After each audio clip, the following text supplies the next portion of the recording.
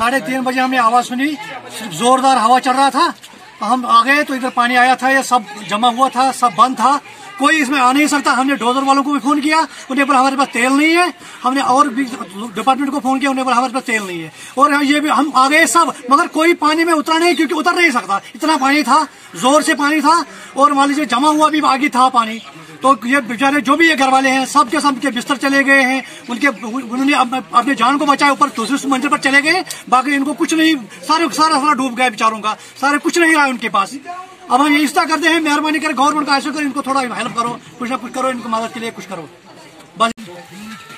रात हसा this pack up मगर अस रात तम बचत आम हसा चकोश पे रात जाए अंद बिहित हम सीधे पे छतन पे यह गरस मज यह सोरे तबाह अस गवर्नमेंटस अपील कर गरीब मजूर पे ज़मीन तो नहायत कम गवर्नमेंटस अपील कर गोस क्या माफ़ ना मत